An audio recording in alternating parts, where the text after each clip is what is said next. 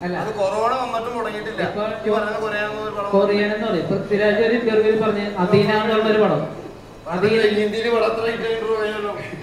അല്ല അദീന എന്നൊരു പടത്തിനെ പറ്റി. ബാക്കിയുള്ള സംസ്ഥാനത്തിലൊക്കെ മലയാളത്തിൽ വന്നതിന് റീച്ച് കൂടുതലാണ് കാണിച്ചത് ഈ എവിടെ നിന്നാണ് വരുന്നത്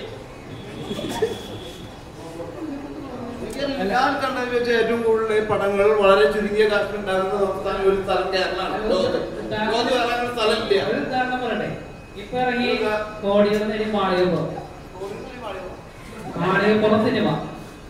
ശരിക്കും ആ പടം എങ്ങനെയാണ് വിജയിച്ചത്? ആ പടത്തിന്റെ മേക്കിംഗ് ആണ്. ആ പടത്തിന്റെ മേക്കിംഗ് ആണ്. ശരിയാണ് സംഭവിച്ചത്. പണ്ടത്തെ ചോറ്റാനിക്കര പോലത്തെ സിനിമയും അന്ന് എടുത്തിരുന്നെങ്കിൽ ഇതേപോലെ ഗുരുവായൂരപ്പന്റെ സിനിമയും അല്ല ഞാൻ- എന്റെ അഭിപ്രായം പറയണം മറ്റുള്ളവർ എങ്ങനെയാണെന്ന് എനിക്കറിയില്ല. ഞാൻ ആ പടം കണ്ടത് മേക്കിങ്ങിലൂടെ.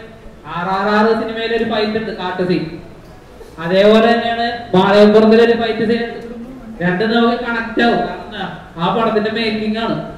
ഒരു പടത്തിലെ ഒരു മനുഷ്യൻ മേക്കിങ്ങിലൂടെയാണ് പ്രേക്ഷകരെ പിടിച്ചിരുന്നത്. മേക്കിംഗ് കാണാൻ അറിയാൻ പാടില്ല. അതാണ് സിനിമ? ഞാൻ പണ്ട് സിനിമ കാണുമ്പോൾ ഷോർട്ടുകൾ കണ്ടിട്ടില്ല. പടത്തിൽ വർക്ക് ചെയ്യാൻ തുടങ്ങിയാൽ ഇതൊക്കെ ഷോട്ടുകളായിട്ട് കാണാൻ തുടങ്ങി. അല്ല.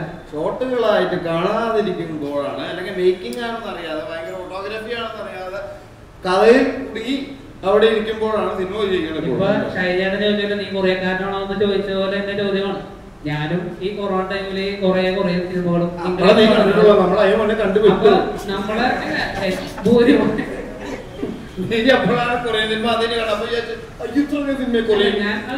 ഒരാഴ്ചയിൽ എത്ര സിനിമ ഇറങ്ങണം കൊറോണ വന്നിട്ട് അതിനൊരു മുടക്കുണ്ടായിട്ടില്ല ഇതാ?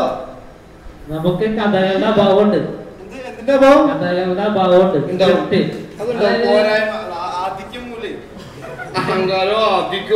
പല സിനിമകളും ഒട്ടിയിട്ടില്ലെങ്കിൽ അതായത് ഏത് സംസ്ഥാനത്തിലെ കഥകൾക്ക് ഒരു പഞ്ഞു അത്രയധികം പടങ്ങളും പഞ്ഞു കഥകളൊക്കെ കാരണം പടങ്ങളൊക്കെ?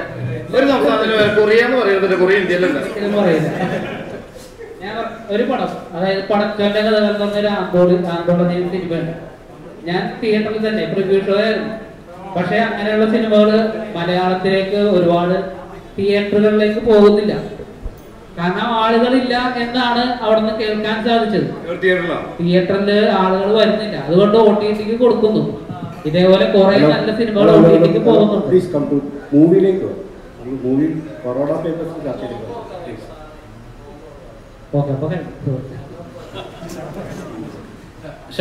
കുഴപ്പമില്ല. ഇതൊക്കെ രസമല്ലേ ഇതിന്റെ ക്ലിയർ കുറെ സാധനമാണ് ഇത്രയും ചെറിയൊരു സംസ്ഥാനത്തിൽ ഇത്രയും നല്ല ബാക്കിയുള്ള ഭാഗങ്ങളൊക്കെ ഞാൻ ഇപ്പൊ തെലുങ്കിലെ അഭിനയിക്കുമ്പോൾ നിങ്ങൾ എങ്ങനെയാ ഇത്രയും റിയലിസ്റ്റിക് ആയിട്ടുള്ള കഥകൾ കണ്ടെത്തണമെന്ന് ചോദിക്കുന്നത് എങ്ങനെയാണ് നിങ്ങൾ ഇപ്പോഴും അങ്ങനെ കണ്ടെത്തുന്നത്? അവർക്ക് നമ്മളെ പോലത്തെ പടങ്ങൾ ചെയ്യാൻ താല്പര്യമുണ്ട്. പടത്തിൽ ചെയ്യാനും താല്പര്യമുണ്ട്. പക്ഷെ കാശ് കിട്ടാത്തത് കൊണ്ട് മാത്രമാണ് അവരൊന്നും ചെയ്യാത്തത്.